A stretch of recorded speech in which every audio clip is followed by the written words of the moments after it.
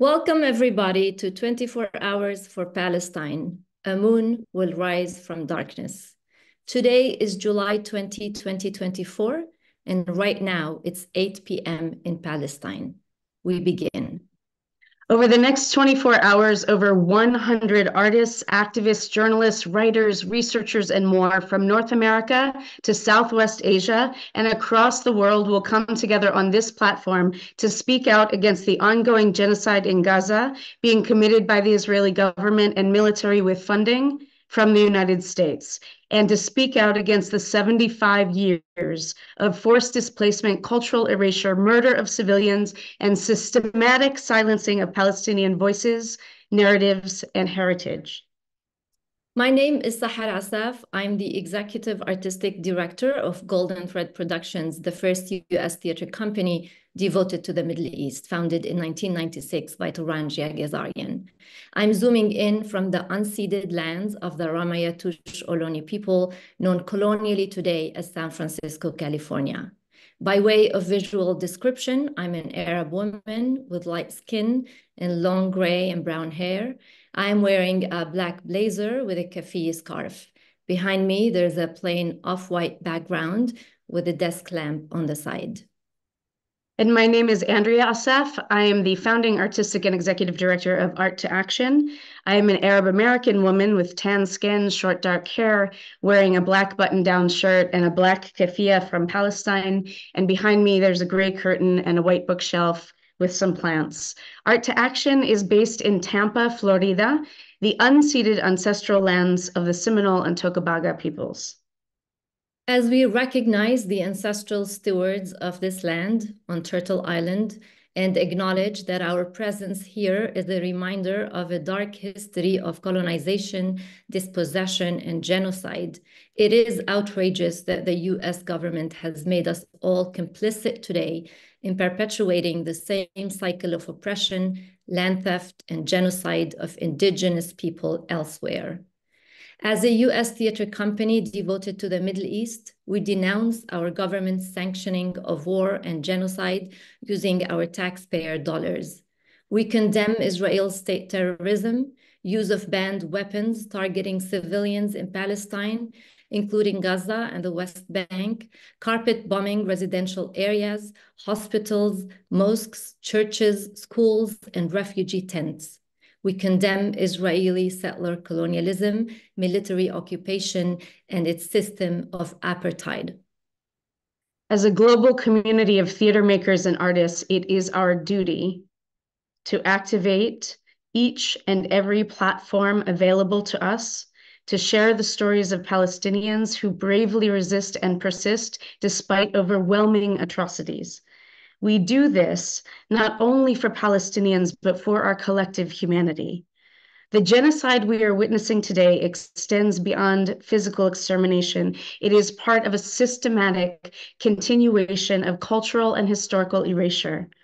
For years, there has been a continuous effort to silence the Palestinian people, deny their stories, and to erase their culture and history, and to silence artists who speak up for Palestine.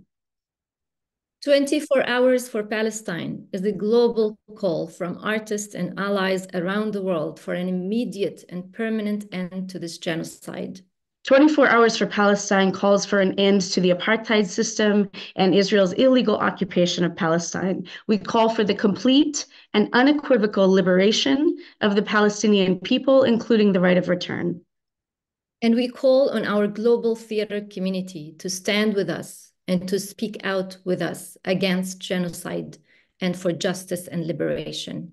We call for you to stand on the right side of history. 24 Hours for Palestine is organized and produced by Golden Thread Productions, co-produced with Art to Action and in partnership with the MENA Theatre Makers Alliance, Ashtar Theatre of Ramallah, the Freedom Theatre of Jenin, Zuqaq Theatre Company of Lebanon, Noor Theatre of New York City, Donkey Saddle Projects, and Dunya Productions of Seattle. Thank you to HowlRound Theatre Commons for live streaming with us for 24 hours. In this global grassroots 24-hour live stream event, you will see performances, readings, films, discussions, and more. Our title, A Moon Will Rise from Darkness, is a reference to the legendary Palestinian poet Mahmoud Darwish.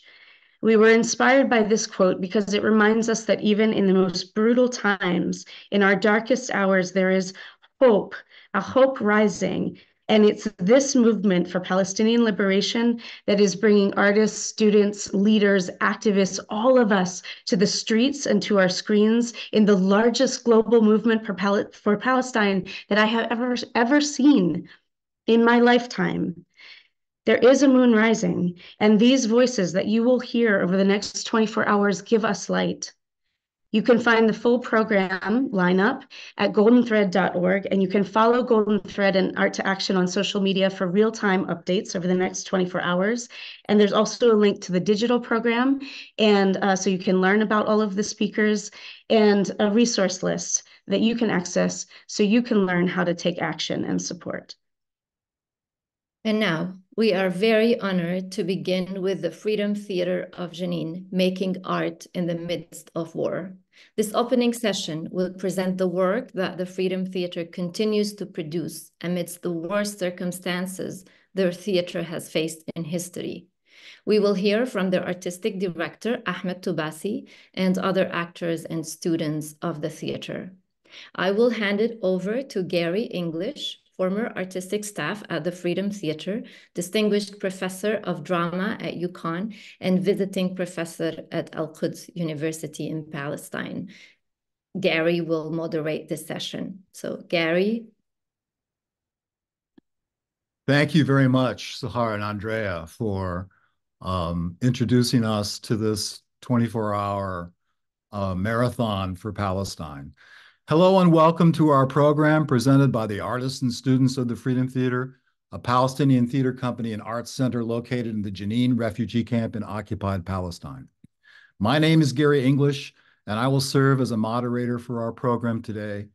I had the privilege of working at the Freedom Theater from 2012 to 2016, and TFT was founded in 2006 by Juliano Mer Khamis, Jonathan Stanczak, and Zakaria Zubeidi, and enjoys a unique standing and history amongst Palestinian theaters as it was founded and exists still today in perhaps the most violent location in Palestine outside Gaza. Jenin has been attacked on and off for decades, dating back to 1948, the first Intifada in the early 1990s, and in particular during the second Intifada, when the Battle of Jenin took place in 2002. When the Israeli army destroyed over 500 buildings and killed over 100 Palestinians, TFT was founded in part based on the efforts of Mer Khamis's mother, Arna Mer Khamis, who operated the Stone Theater during the First Intifada as a children's educational and arts center in the camp. If you could advance the slide, please. the documentary film Arna's Children demonstrates the roots of resistance in Jenin camp. and if you've not seen this film, I highly recommend it to anyone interested in understanding more about the foundation of TFT's mission and history. TFT is located on School Street, just inside Jenin camp, and one of the defining elements of the theater includes the Martyrs Cemetery, which is only a few hundred meters down the street. One of the founders, Zubeidi, was in 2002 a leader of the Al-Aqsa Martyrs Brigade in Jenin during the Second Intifada.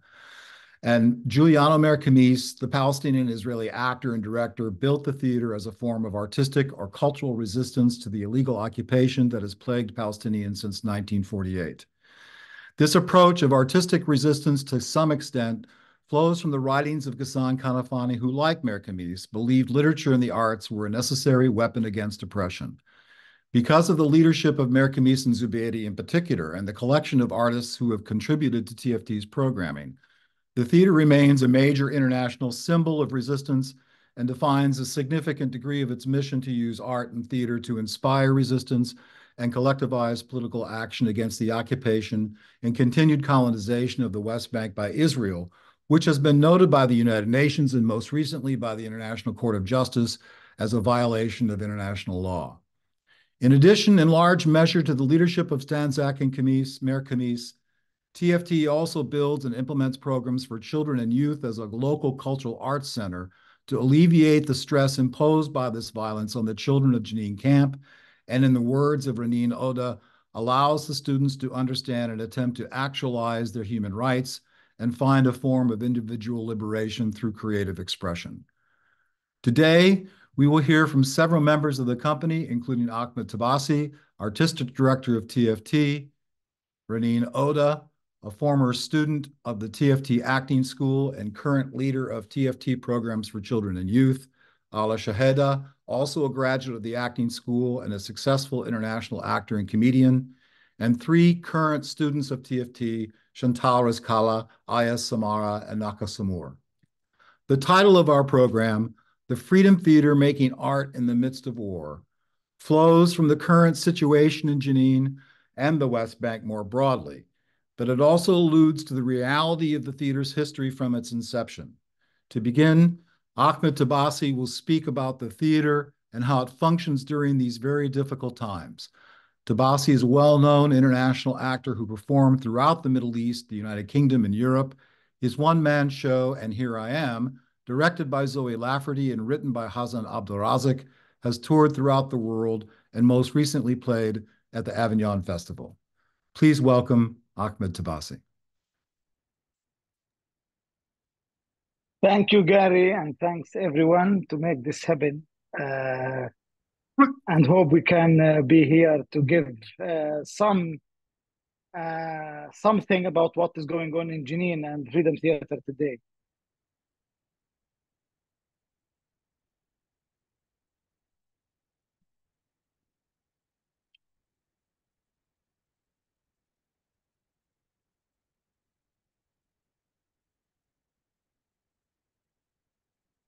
Do you hear me, Gary?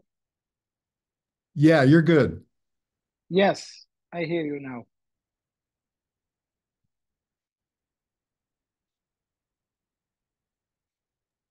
If you could just if you could just give us a, a review or uh, tell us a little bit about what the conditions are at the theater and in Jenin camp now. Yes, actually, I uh, I came back before three days to the camp. Uh, I was already in a small tour in uh, in France, and I left when I left before one month uh, and a half. I left like after two days invasion, uh, where twelve uh, Palestinian killed, and I did all this work, and I came back, and it's really from all the way from the border to Jenin you see how the streets not the same. It's empty from the cars. There is no that life. You feel you feel worrying. You feel uh, there is something in the air which is not normal. Uh, and when i arrived to the camp and i tried to ask people taxis please can uh, somebody uh, uh, take me to the camp? Where most of the taxi drivers were really not happy to drive to the camp uh, because yes, I understood in the way where you see all the streets and all the ways to the camp and inside the camp to the Freedom Theater and the courtyard of the Freedom Theater, all the streets being bulldozed, uh, and you can see just dust, uh, holes in the streets, and a very difficult daily life in this kind of camp. Uh, uh where uh, electricity cuts and shortage water and uh, people are tired, people are afraid. They waiting uh, uh, invasion to come. They are just waiting when the next time the Israeli is gonna come and invade and bulldoze again and again the streets. And that's also, as the Freedom Theater, part of Jenin Camp, part of what is going on in the daily life. We really working uh, minute by minute. Uh, we make plans, we try to make productions, we try to make our artistic plan, but with worry, uh, with each uh, minute, plan B and plan C, plan G, plan E, F, until the whole letters, because you never know what's gonna happen next second. And to be honest, last time, I think Gary, you were here before in the Feminist Theater Festival in the middle of the show, where you have kids, women uh, uh, uh, inside the theater when the army stormed and shooting everywhere, bombing, and we are surrounded inside the camp without any emergency uh, plan or any way to save the people inside the theater. And you know, each day there is uh, martyrs, each day there is demonstrations, each day there is invasions, and that makes our work more more challenging because uh, uh, uh, in this kind of situation, people ask us what we're gonna do with theater. Uh, there is martyrs, destructions, killing, invasion, and you you're gonna do theater for what?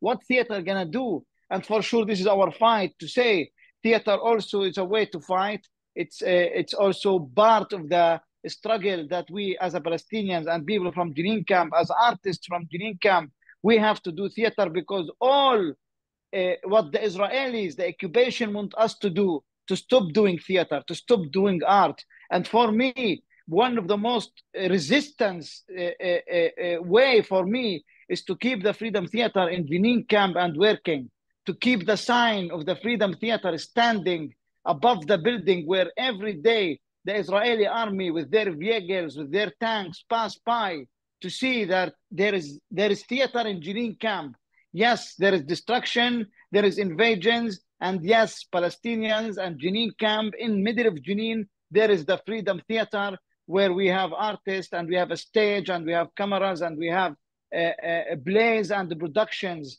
to do and to show and to make this place colorful and have their color by theater. The, uh, uh, for me, when the Israeli come and pass by uh, from the Freedom Theater, you know, they attack the theater as they're attacking the camp. They have no limits to say, like, this is an artistic, cultural institution, so maybe we need to deal with it with a bit of modern or moral way.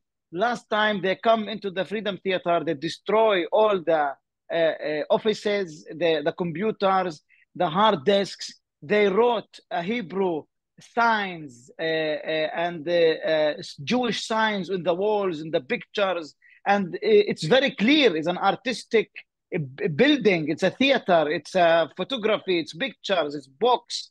And for sure for me that's the improvement. They for them they don't want to see us as a palestinian dreaming that we can have a theater we can make art and we can make culture. They want to tell us that we cannot be something different more than a people under occupation that they cannot have dreams they cannot have uh, uh, uh, colors.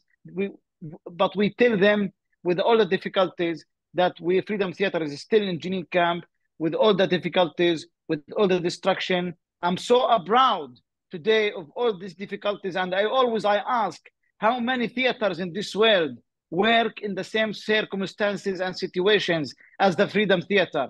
Freedom Theater deal with arresting, with with with invasions, with bombing, with shooting, you as an artist in Jenin camp with the Freedom Theater, you have the possibility that you're gonna be shot anytime, that you're gonna be imprisoned in any time. So that that's the level of the danger of what's mean to be an artist and doing theater in Jenin camp and work in the Freedom Theater. So yes, the alert is so high, and we know we we we're not just doing theater. For us, by the Freedom Theater, by the theater, we're gonna resist.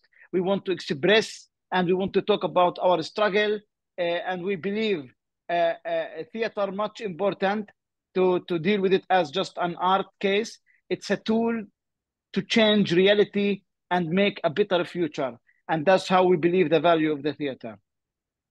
It, it's thank you very much. It's it's interesting to me that that in addition to the programming that you do in the theater, which to some extent is made nearly impossible by the current circumstances.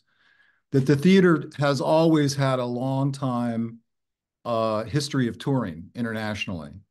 Could, you could you talk about a little bit about the importance of international touring and why taking theater theater productions to Europe, the United States, Africa, India, and so forth is so important? I think there is many reasons, but one of the things that we like become so clear uh, by this time and by this uh, genocide in Gaza, for the 75 years, the West, uh, America, the propaganda of Israelis, the propaganda of West dehumanized Palestinians. Uh, they, they showed Muslims, they showed Arabs, they showed Palestinians, freedom fighters as a conservative Muslims like Al Qaeda, like ISIS, and they mixed all the pictures uh, uh and for, uh, and changed the whole narrative of how to present even Palestine and the Palestinian case.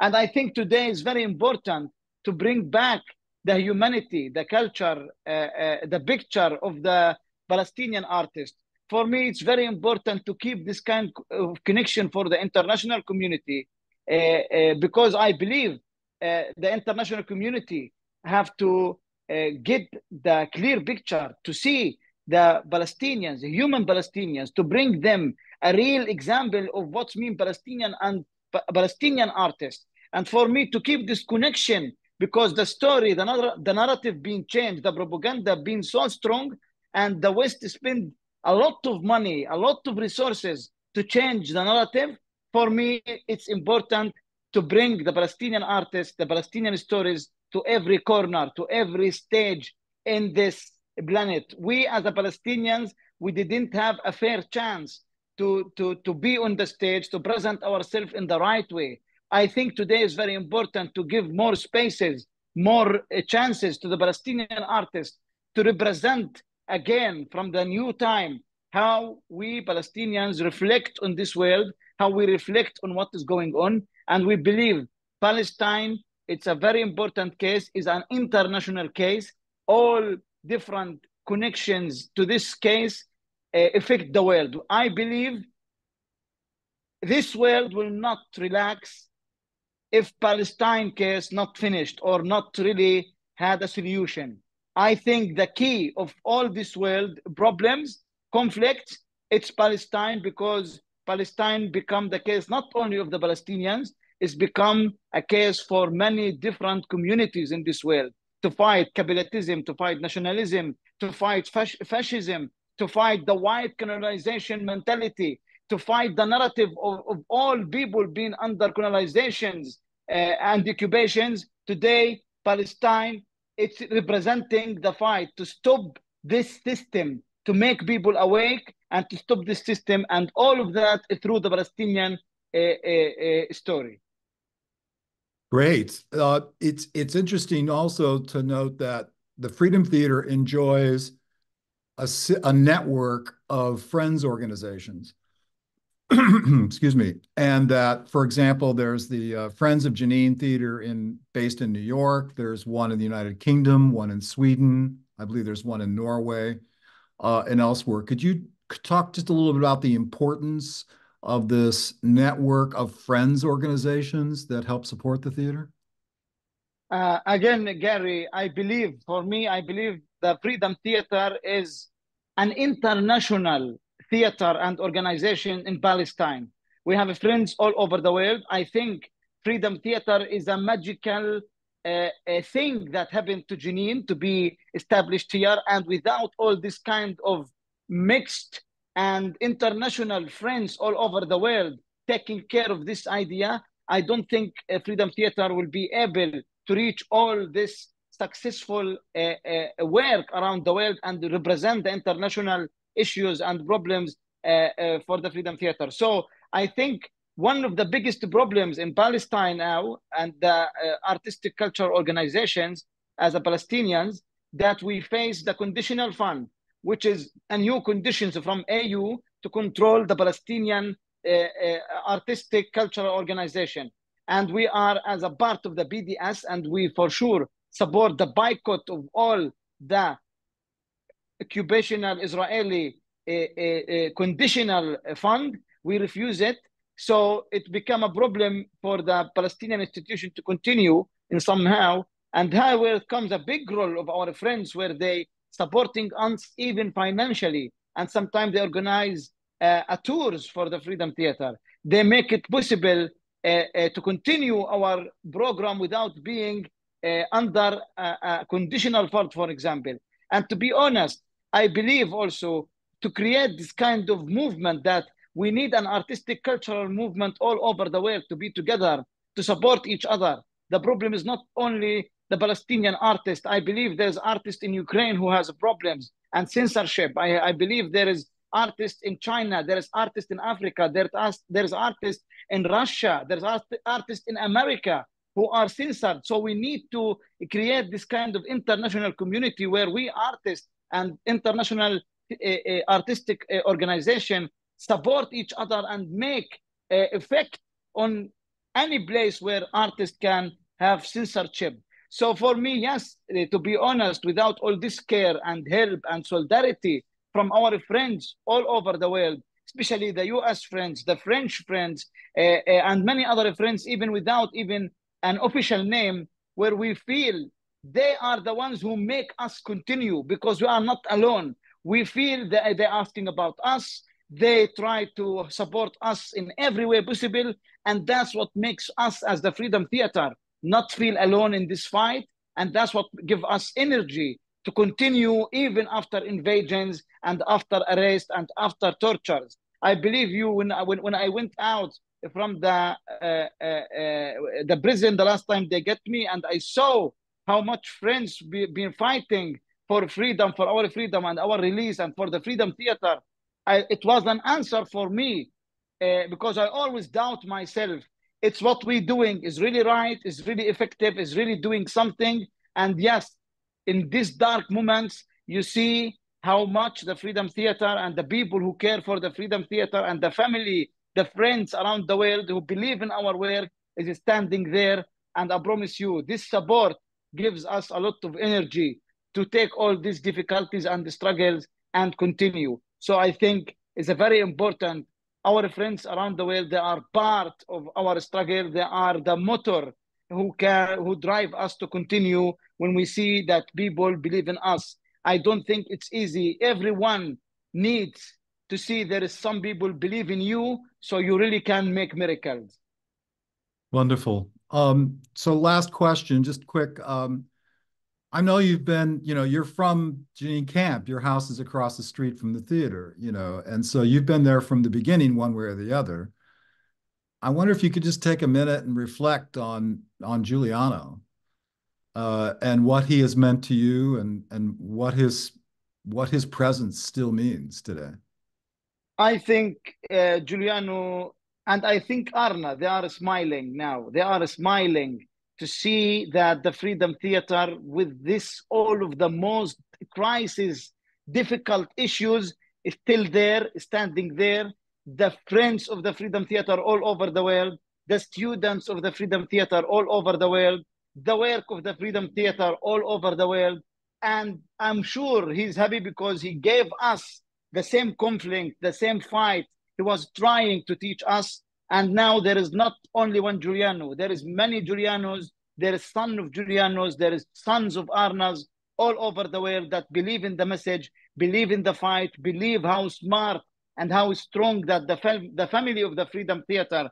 And I cannot forget everyone in the friends who have been in these difficulty places and times because I know, because I follow and I followed from uh, uh, uh, the Stone Theater. I was a little child.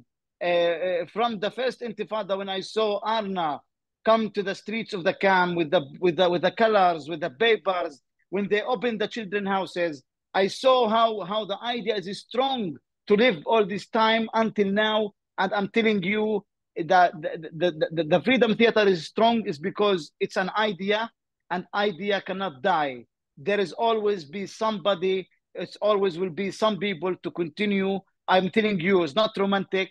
I know it's not easy. It's very difficult. It's very harsh, but you do it with joy. Eh, as we saw it and our friends saw it, we die and we suicide in a very beautiful, beautiful way. We're doing theater, and for me, we, we, we enjoy the success today that the Freedom Theater being announced for Nobel Prize and what we need more to be recognized in this way. Thank you, Tobasi, so much for sharing that with us. And I look forward to talking to you more at the end of the session. Thank you. Next up, we will hear from Alaa Shehada, who performed in numerous TFT productions, including The Caretaker by Harold Pinter and Suicide Note from Palestine, written and developed by Nabil Al-Raee and Micaela Miranda. Alaa, Alaa currently resides in Amsterdam and continues his work with the theater company Hotel Courage.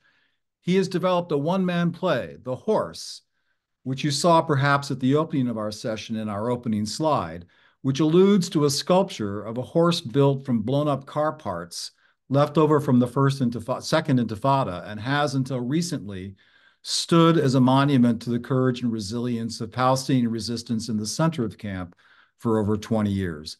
Please welcome Alaa Shehada. Hello, assalamu alaikum. Hey, Gary, how are you doing? Uh, I'm very thankful for everyone who's listening right now for uh, our voices from Jenin and uh, the stories that is happening nowadays in in Jenin. Uh, I would love to share with you, but before I share, would shall I say something before I start, Gary? Or uh, as you like. If you want to say the... a little bit about the theater or about the piece that you're going to read from. do you want to talk a little bit about the your okay okay and then I th- I'll, I'll, start reading and then maybe we have sure oh it's not the time yeah yeah we're all set. You hear me now? Yes. Okay so I'll, I'll, start reading a few scenes of the solo performance the horse of Jenin and this is we are still uh, work under progress that we're still writing the piece. And uh, hopefully we will be not hopefully like for sure we are premiering the piece in september in amsterdam. And we hope that we'll bring it to the us next year i'll be reading a few scenes and then we can have a discussion after that great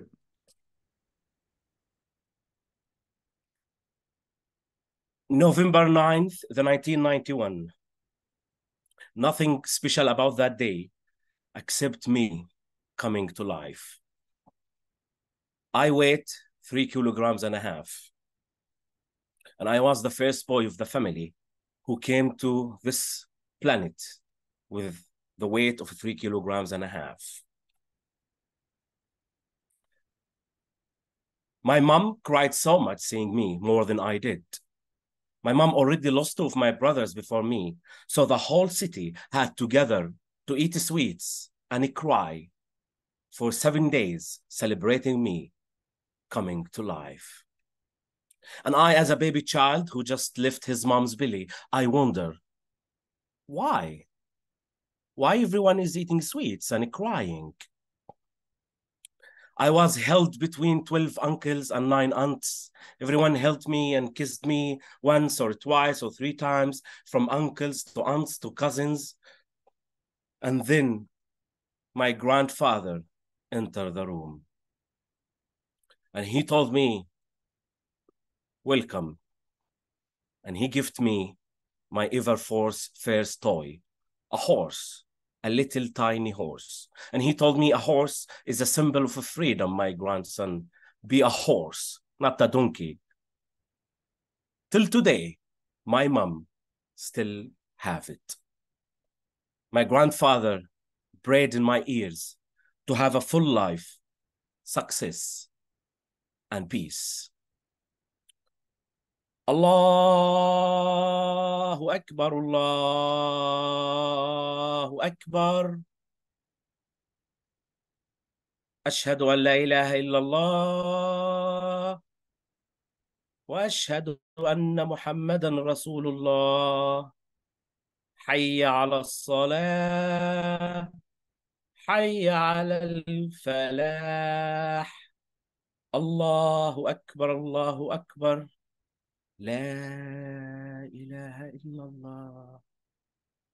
And he left me in my bed to sleep.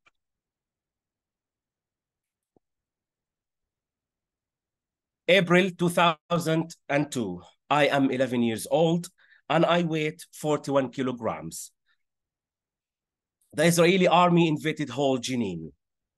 The whole city and the camp was totally destroyed.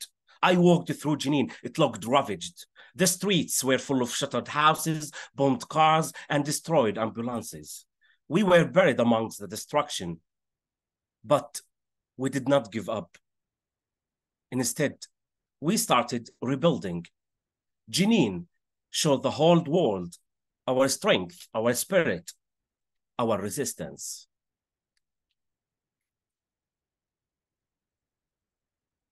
April 2003. I am 12 years old and I weigh 47 kilograms. And the first line of my mustache is appearing. Suddenly, a German artist is coming to Jenin. I asked my friend, What is an artist? And he said, An artist who wears a, a, a cap and with a mustache and he show off. I said, I want to be an artist too. Why not? I want to be an artist and, and I, I want the German artist to come and ask me and tell me, please, Alaa, please, can you come? Please, can you come with me to Germany? You don't deserve living here. You, you need we need you. And then I say no. Then he will insist again, please come, the world needs you. I say no. Then he will insist again, please, we need you. Then I go to Germany. Then I become a Germany artist, as, uh, in Germany as an artist, and everyone is looking at me. Look at the artist. The artist is walking. The artist is thinking. The artist is cooking. The artist is sleeping. But the real German artist, the only thing he did is collect rubbish. Huh?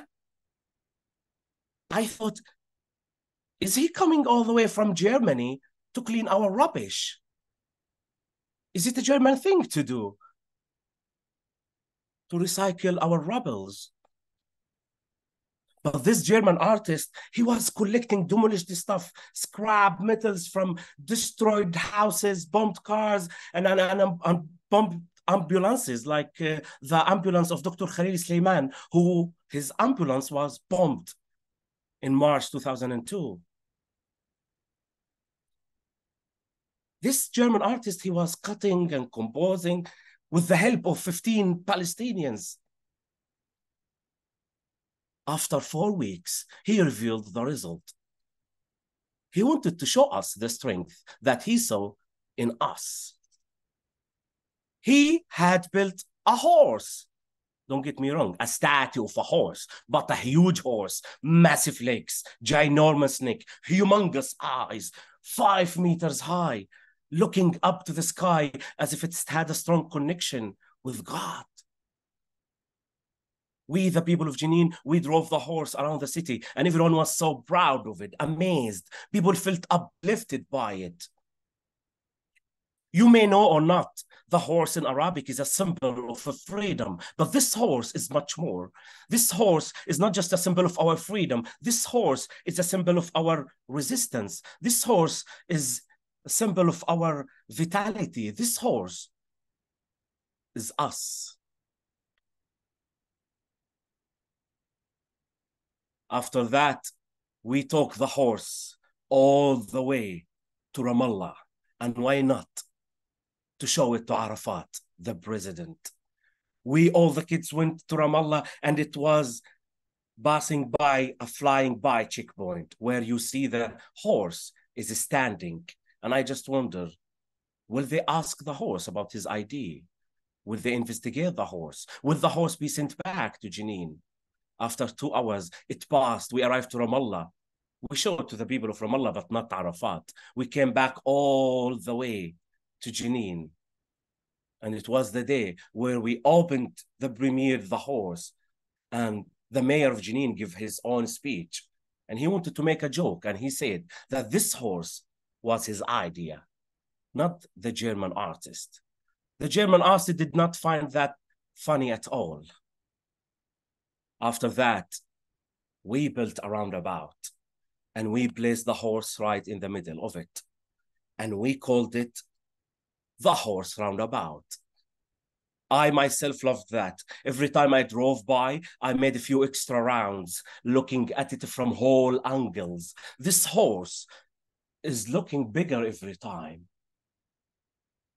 it became the meeting point during the day we ate falafel there we had our spicy uh, we had our spicy food and we had our arabic bitter coffee we fought there we loved each other there we shared our secrets dreams and stories while the horse is listening. At night, when we are asleep, this horse is not. It watches over us. October 30th, the 2023. I am 31 years old and I am on a keto diet and I weigh 82 kilograms. The Israeli army entered Jenin like every night, nothing new. But tonight something felt different. Tonight, they did not come to kill or arrest one of us. No. Tonight, something felt different. Tonight, they did not come to dig up our streets or destroy someone's home. No. Tonight, something felt different. Tonight, they came with a bulldozer. But again, tonight, something felt different. They drove it all the way past our homes, our schools, our hospitals, our mosque, our church, straight. And they headed straight to the horse. And they ripped it out of the roundabout. Our symbol of freedom as a piece of garbage once more.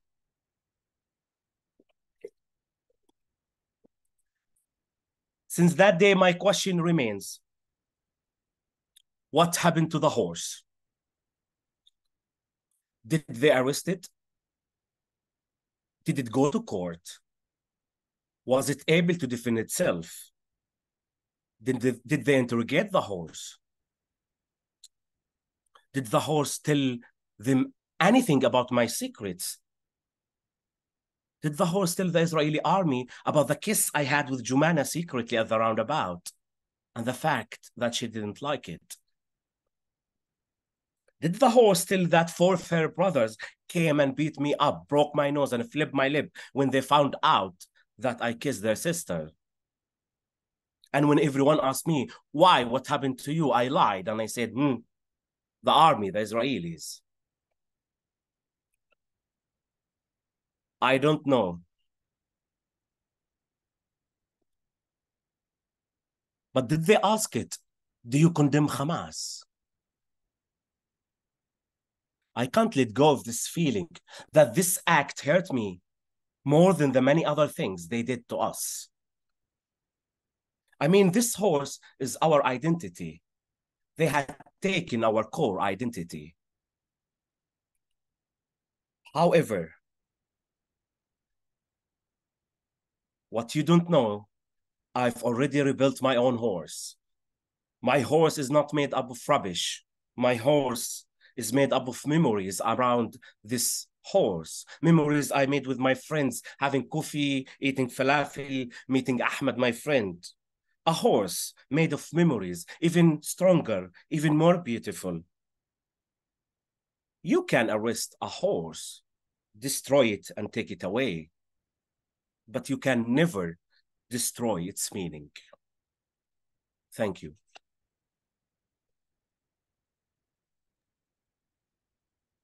Thank you. Thank you so much, Ah. That was great. Um, when did when did you start developing this piece? Well, since I read on Instagram uh, about uh, the horse, and since I the moment you saw it on your like what they took the horse since that moment it was kind of like really big shock and it's something that did not leave my head since that moment because it doesn't make any sense. Okay I understand. Occupation army bulldozers deny okay it's understandable. But in the end of the day it's a piece of rubbish. You know it's a bit of a piece of irony. Like why you take that piece? And, and, and what's what's interesting for me they did not destroy it. They did not made it like they didn't scratch it. No. They just took it they ripped it out and they flipped it and they put it uh, on the bulldozer and they drove it away all the way uh, to israel so this is interesting for me like why like what is the meaning behind is that horse with that power really is it? Wow, this is something that you appreciate. Right. And and what what plans do you have for the plea for the for the play as it develops further? Well, uh, almost we have a draft of the show, and now we are going to open to premiere the show in September. We will do a few trying outs in Amsterdam. Then we are opening it in Amsterdam. We're doing a little tour in the Netherlands. And then in October, we're going to do a few shows in London. And then hopefully we come to New York next January. I hope so. We make it happen. And because I feel this is very important to go around, just let the people hear the story through this little five meters horse you know? It tells you everything about the daily life of the palestinians. It tells you about the whole dimensions of the palestinian personality it's not just you know the, the, the stereotype about palestinians we have everything like the rest of the world so it's good to show this also because i think in this way we get closer to people ah because of the stereotype people become very judgmental at us and then no ah they have the same feelings ah yeah ah, this, yeah, of course they get angry. Yeah. If I lived his life, I will get angry too. You know what I mean? Sure. So that, that's the spirit of the piece. That's great. Um, I'm curious, you know, like with Tobasi, you have been with the Freedom Theater for a very long time. You were a, a young acting student there. We worked together there. Could you talk a little bit about what the Freedom Theater has meant to you? Oof. Well, of course, I won't be here right now talking during this 24 hours uh, about uh, the current situation of Palestine. You know, the Freedom Theater is.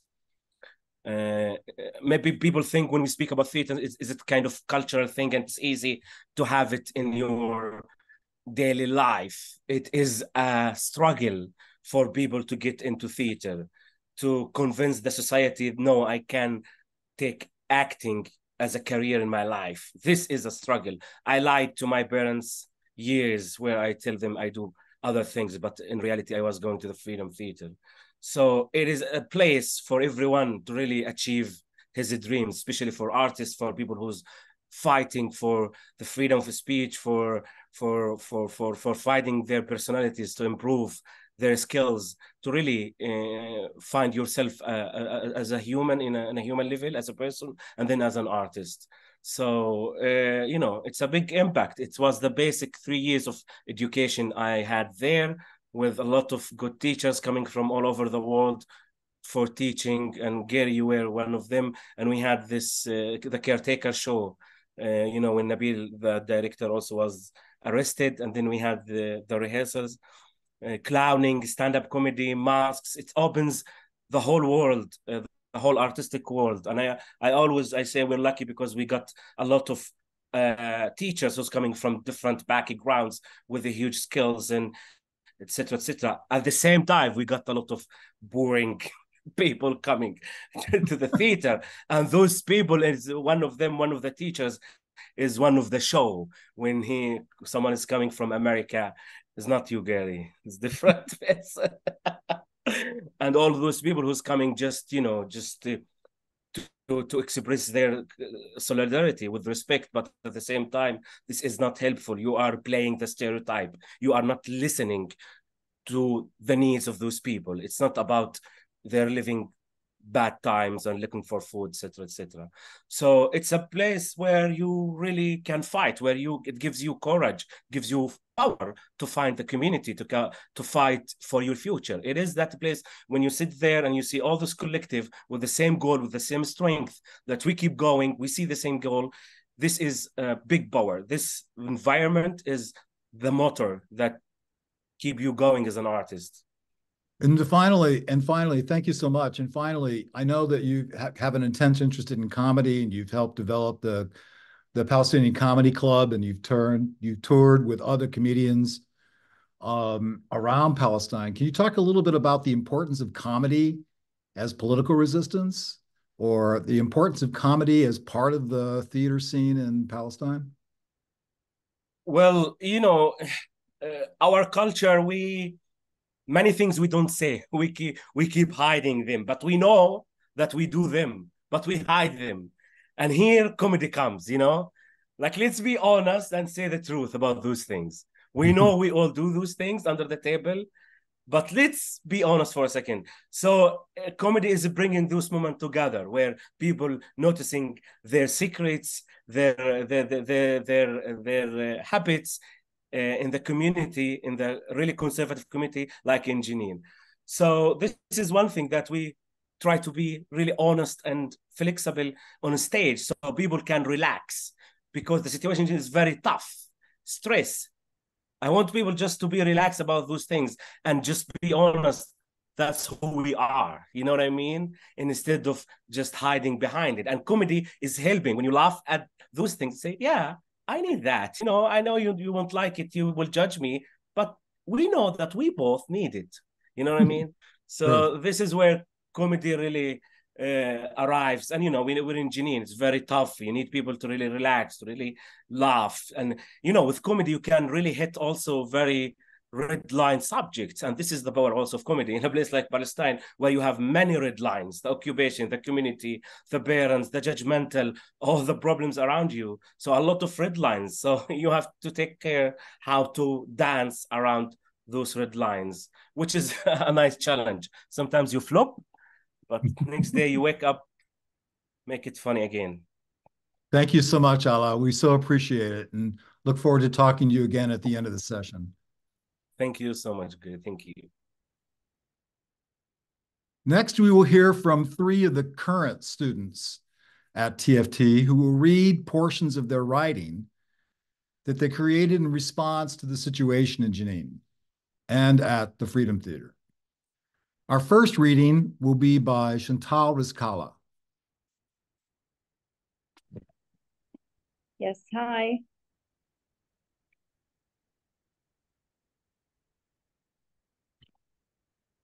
So, um, uh, the name of my poem called Echoes of Absurdity. Can you hear me? Yes. Yeah, okay. Echoes of Absurdity in the peculiar sitcom that is life in the Gaza Strip. Mm-hmm. We found ourselves caught in a cosmic joke, living what can only be described as the worst stand up routine ever. Picture this invaders deciding to spice up their home invasion game by turning it into a dark comedy special. Spoiler alert, it didn't end well for the, the families, especially when they added explosive baby grenades to the punchline.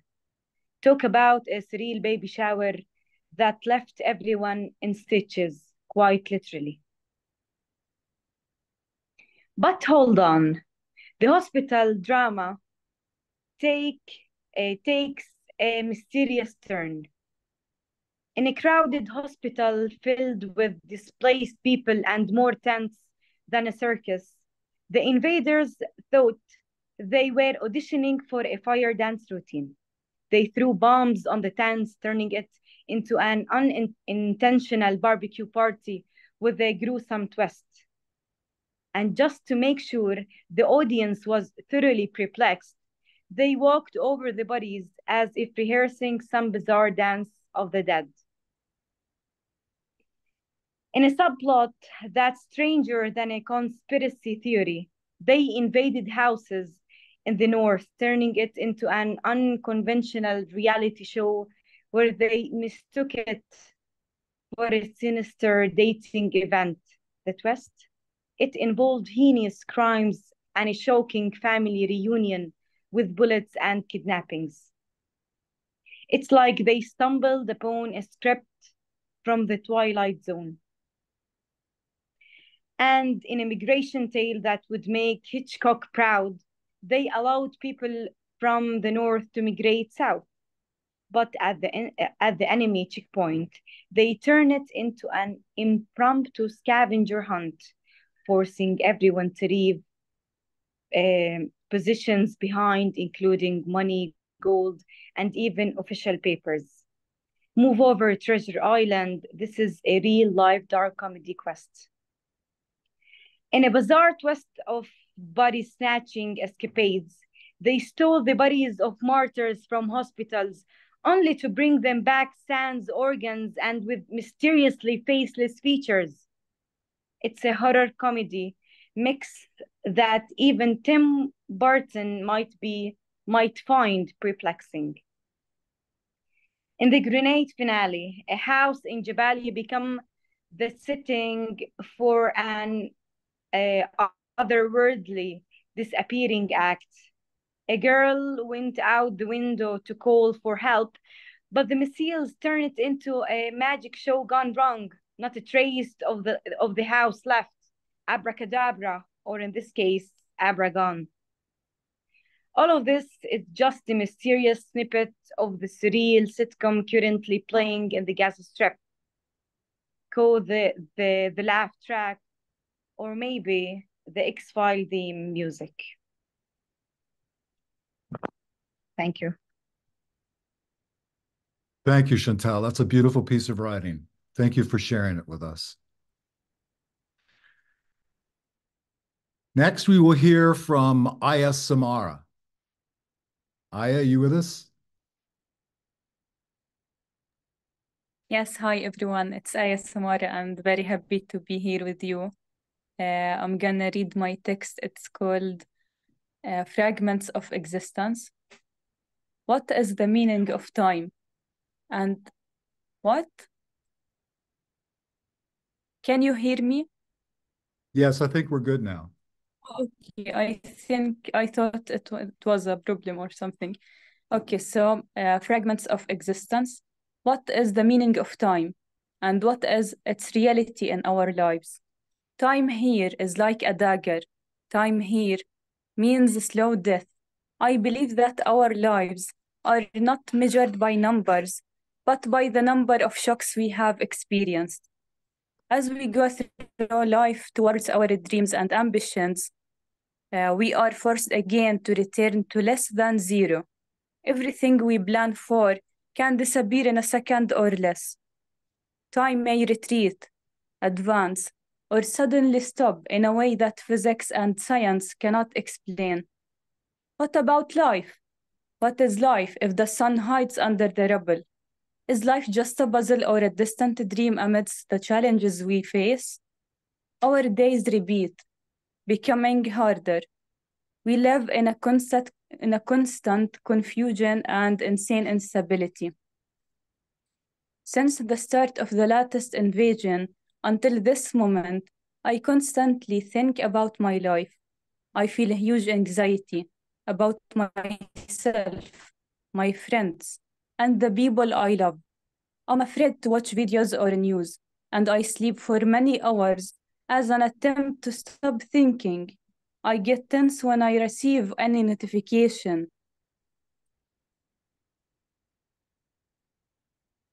Uh, if I receive any notification, hoping it's not a news of more loss or destruction. With each invasion, I feel that I lose a soul from my souls. Perhaps I need something more than life to feel that I am still living, and perhaps I do not understand how life can be because I have never really lived it. I am still looking for a window that looks out on life, as all the windows I look through threaten me with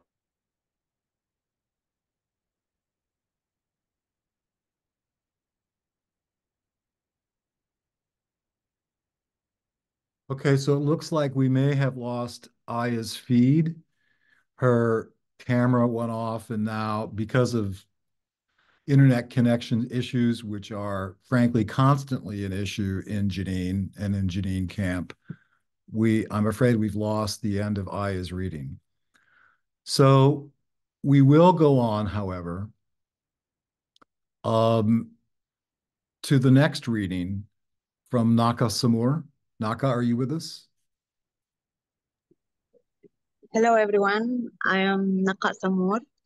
Uh, thanks for having me here.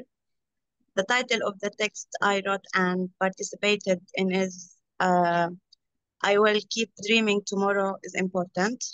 And this is uh, part of the Youth Against Invasion project. So, um, I will keep dreaming. Tomorrow is important. I'm 20 years old, and until now, I have mixed feeling about what's happening. They say the beginning of your 20s is the beginning of youth, the time when dreams for a better tomorrow and a happy future blossom and chin, the time to try and succeed in your ambitions without worried about failure, to begin planning and cultivating with your strength and energy. I am now at this age. I will start my day tomorrow as I dream. I plan to wake up and wake up early and go to the theater. After training is over, I will film a party and later return home to do my inversion. Tomorrow, and university homework tomorrow is an important day. I finished planning. Good night.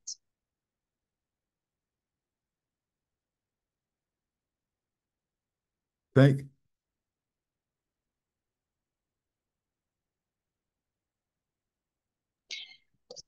At 1 half 30 a.m., since sound in the city of Jenin.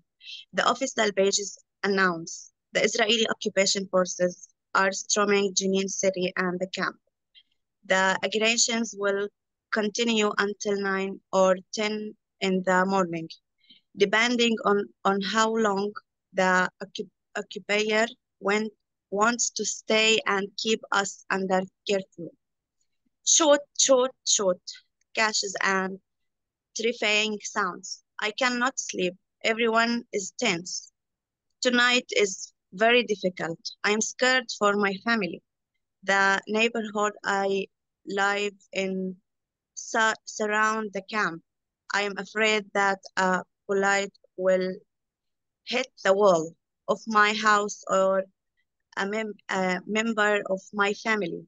I hear the news of my newborn martyrdom, bombs, arrests, shooting, bombing. It was a night full of terror and I could not sleep. Then the morning came and all my plans were gone because of the martyrdom of my neighbor. The now, now committed of strict and mourning across across Jenin. This is how they end all uh, aspects of our life. It is the series of my daily existence. This is how we are deep, deprived of our most basic right.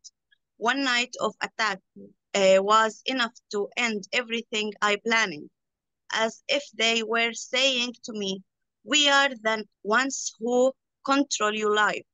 You just have to remain silent and accept living is home legend. Sometimes they um, come to my house, placing their snipers that there to still leaves. Uh, other times they attack the sample of my dreams, the Freedom Theater located behind my house. I see them for the window of my room, exchanging with posi positions around the theater there, later, later pushing me down, and a voice saying, forget the theater. We have turned in into our military parts.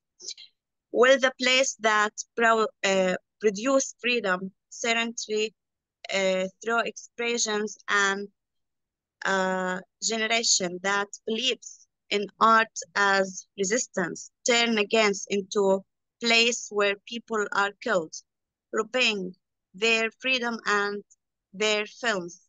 I want to scream, stop. Silence of anyone Arab leaders, silence in presence of gener in Gaza uh, ugliness, uh, killing of children, elderly women and men, How can your souls return to a normal life after witnessing uh, all of this? I continues and head house nightmare. The feeling of helplessness is he heavy, and the feeling of silence in prison of death is painful. But the means of resistance will not end, and we will not leave nor will we despair. Jenin is here as if to wear little Gaza. How can a mother lose four of her children in one night and remain steadfast and hopeful, refuse human and sub submissions to an arrogant occupation? This is Jenin, and this is a real 20 years of my life and 75 years the Palestinian people. Our people deprave life, loving the love it's sweet and better and to meet their enemy with pride, honor and dignity. It is either freedom and life or death with dignity of on this land. The occupation will not serve it. Is either uh, us or us a moment of silence. It's okay. I will go again. Tomorrow is important day. I the theatrical performance filming of uh, ceremony and uh, exam at the university. You pass, I hear the silence again, again the pages uh, announce that entry of the Israeli occupation army and invasion of Jenin and its camp. The army is close to us this time. I am afraid a fatal bullet will uh, penetrate the wall of my house and destroy my dream. I am back to zero. I, I am 20 years old and until now I have lived in a mass called the occupation, which control me, my life, my feelings, my dreams, and my plans. But for how long? Thank you. Sorry, because my English now, not good. No, no, that was wonderful. Thank you so much for sharing that with Thank us. You. It was just terrific. Next up on our program is Ranin Odeh leader of the TFT programs for children and youth, who will share with us the activities she participates and leads, and will talk about how conditions in the camp during the current violence affects the programming and the children she works with. Ranin is an actress and has performed in many TFT productions, including I Am My Own Enemy, which is based on a deconstruction of the Medusa myth, and the international award-winning production of Return to Palestine, developed by Micaela Miranda. Please welcome Ranin Odeh. Thank you, Gary.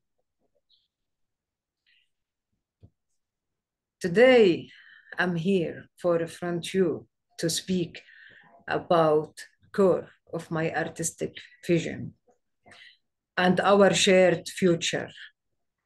The children of freedom. These children are not just our future. There are also the soul of the prison, our prisons in the camp between the rebel was thanks to them because they give us important lessons about the true meaning of freedom. Their innocent laughter can be heard in the camp and the street of the city is uh, the driving force that makes us continue to challenge and innovate to give them the to tools and arts that will make them achieve their dreams.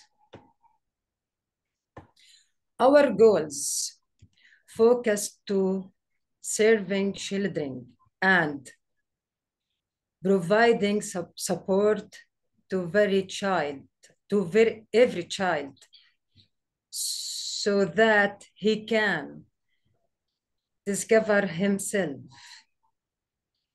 develop his skills, and express his feelings.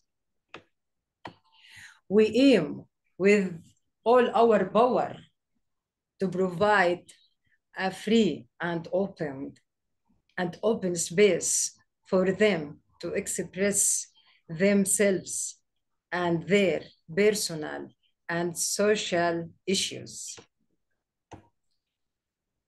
Our child and youth department is always evolving based on the visions and the dreams of the children because we believe that they know their needs and desire better. That anyone else for here from here we coordinate our programs and goals in the line with their ambi ambitions. To build a bright future to build a bright future that enables them to become leaders that can change society. Every year, we organize summer and winter activities. In the summer, we offer the Freedom Academy Summer Program, which brings to, together a large number of children over a whole month, where we help them discover multiple types of arts and enhance their physical and sensory ability. After the academy, we continued to work with them throughout the year through the child to child theater program, which allows children to before to perform multiple multiple roles as actors, directors, lighting and sound technicians, and stage managers in amazing environment. We also offer theatrical, offer theatrical performance throughout the year until the winter, until the winter, at which and which point the child, the, the children are ready to work in performance, artistic, professional production. Also, we have programs targeting women and youth, especially women,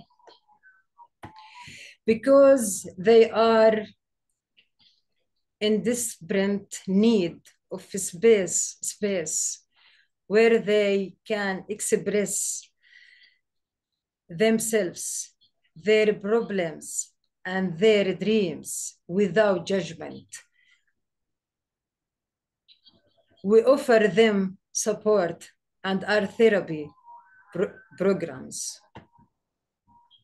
Include the mothers of mar martyrs, martyrs group. This group helps them deal with the shock of losing their children through play and releasing emotions. And we work with a group of mother and their children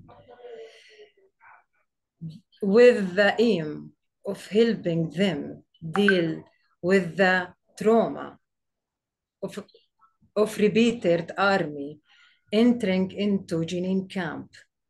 These families have had their homes raided many times and parents have been arrested in front of their children. Our programs provided them with a, with a space to play and results release their emotion, helping to undo the effects of this trauma. We have important par- partners in this journey, such as Palestinian Circus School, Palestine, Clown Without Borders, Borders, Sweden, a child, Children Without Borders, Japan, the Arab American University, Palestine, Clown Me In Lebanon, and the Friends of the Freedom Theater in the French, Sweden, America, and other friends in the Freedom Theater in the world. We work together. We offer program targeting different segments of society and we seek to achieve, we seek to achieve, to achieve a rich culture and knowledge, knowledge, knowledge, knowledge exchange. Last year, we lost three children to Israeli army gunfire. We lost Sadil Naghnaghiyeh, Mahmoud Saadi, Yamin Jarrar. As our wounds bleed from their lost. We thought about how to save our children from this brutal, brutal army. So we decide to transfer the activities of the child and youth department from Freedom Theater in Jenin camp to the Freedom Theater School in Jenin City. Despite the continuing dangers and the repeated entering of the Israeli army into the city of Jenin, we continue our activities. And today we continue with the Freedom Summer Academy program for children. We will continue to present the arts until our last breath because we believe that the arts are our strong, strongest weapons in the face of injustice and oppression. Thank you. We will continue our work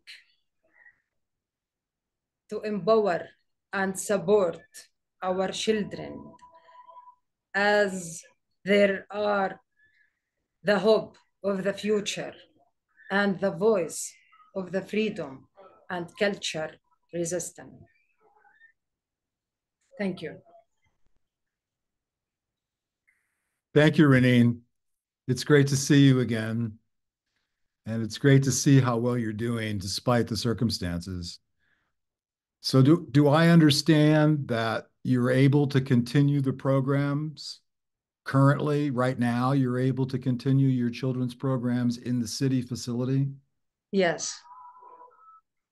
And have you, is, is it difficult to get the families to allow their children to come, come to the, to the theater? Yes, of course, because uh, all all people in in Jenin city feeling afraid about uh, children uh, situation.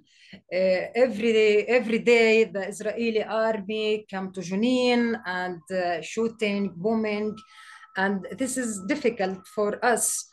How we can continue uh, our programs, and always we have another plan, uh, and always we thinking if the Israeli army come to Jenin, how we can save our children, how we can uh, protect them. Mm. But but we decided we want to continue.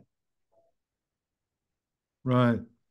Well, you were you yourself were uh, a student at the Freedom Theater Acting School. Could you talk a little bit about what that has meant to you? Whoa. okay. Uh, it was different. Uh, it's uh, it's my favorite because uh, the Freedom Theater School uh, changed me. And uh, the way I think uh, this push push me to help um, others and um, always I remember you because you are my favorite teacher. Uh, you change everything in myself and in my mind and now it's it's my time to to change other. And I want told you, Gary, thank you, thank you so much. Well, you had some wonderful teachers. Nabil and Micaela uh, were were Micaela Miranda and Nabil Al-Raee were were were the artists there at the time who certainly had a big impact on your life and everyone else's. I'm wondering now if Alaa, Shehada, and Tobasi, could you rejoin us? Turn on your cameras and we could have a few concluding questions about things at the Freedom Theater and what what the future is. If if Tobasi you're around, if you could turn on your camera as well. Um, and and so I I guess as we begin to get to to the end of our program, um, uh, Alaa, you're now in Amsterdam, and um, but I know you go to some extent back and forth and and um, how important is it for you to be able to stay connected to the freedom theater uh, and to operate when you can in palestine well as palestinian artists we always have the responsibility to tell our stories despite if you're in palestine or outside of palestine but I think also is very important back home uh, that we all, in the middle of those hard times, try to be supportive. Uh, and, and I mean, this time is really sensitive, is really horrible because peoples are going so crazy. A lot of, I, was there 10 days ago and I saw the depression people's faces, sadness and, and, and frustration and and then people are still surviving people still are you know trying to produce their costs so they can live a few months later with their surviving uh, survival uh, situations at the same time at the theater you try to to to to find a space to find to to help the artist to help anyone who's creating who's uh, really doing anything at the theater. At the same time it's really sensitive because of the current situation. When you have the army coming in and out almost every day what the theater situation can be what kind of continuation what kind of uh, stability uh, what kind of stability in your uh, career as an artist you know? So it's an up and down up and down and you have to adapt yourself all the time for all the new conditions that's happening. You need to expect that the armies are coming in in any second in the middle of the show. Last october the army came when we were watching a show in the freedom theater and then suddenly we have an israeli undercover soldiers literally by the walls of the theater and the, the electricity went off and we had no option, nothing to do. At the same time, you know, everyone starts to stress and then uh, the kids started to cry and, you know, we, we did our best. This is the reality that we live in and we just all the time wake up and we try to to to, to adapt to, to, to this. Yeah, Tobasi, Ranin, and and Alaa, I, I just sort of have one final question for you guys. Um, you know, it it occurs to me that that a lot of what Juliano used to talk about, and similarly Zakaria about the idea of cultural resistance. Um, uh, Zakaria told me once that, and this sort of follows Kanafani, that uh, that cultural resistance is not a substitute for armed resistance, but that it explains it. Um, can you talk a little bit about what the relationship of cultural resistance is to the national movement? I think, Gary, we have to be very careful how we present this kind of different resistance because there is some discussion about theater is not a violent or some other people who carry guns, for example, or they believe in other ways of resistance they think culture uh, or art is a soft way of resist and that's what we say. Not really. Uh, theater is very dangerous. Theater is very violent we're not talking about what more violence way to resist. We talk about culture of resistance. We believe in the theater that culture resistance is much bigger than to put a resistance in one way or in one tool we believe that culture should be a way of living, a way of doing things. A, a resistance a, should be in our daily life.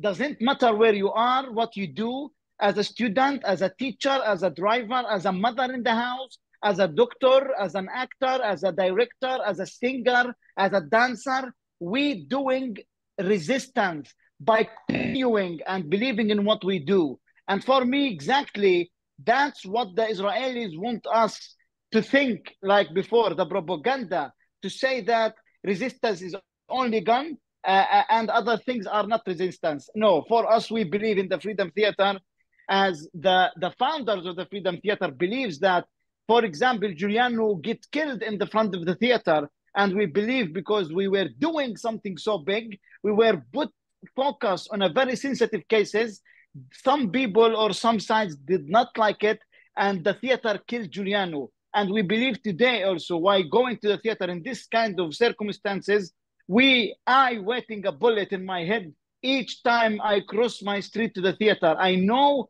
how sensitive, I know how dangerous to do theater in this kind of this situation. Not only me, all the team of the Freedom Theater who going every day to the theater or to the activities, we know that we're doing one of the most dangerous actions in this kind of time.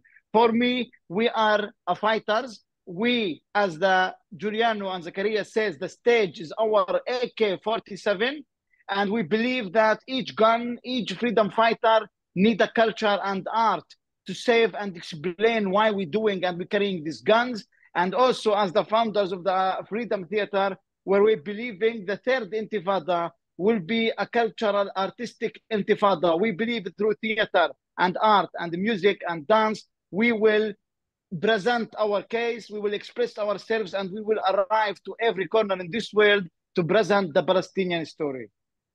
Thank you very much, Alaa, Tobasi, Ranin, and thanks to um, Sahar. For, to finish, yes, to, to, finish this event, Gary, is very important to mention this text with the, with our students and our uh, girls. Yeah. I'm so proud of them that we all Palestinians spoke in English, actually. So I hope that the Americans, well, they will put the offer to speak Arabic and to learn more about us. So this text was from the invasion, uh, Youth Against Invasion. It's a, a, a collaborating uh, project with the uh, Artist Frontline and we put all these kind of testimonies and texts.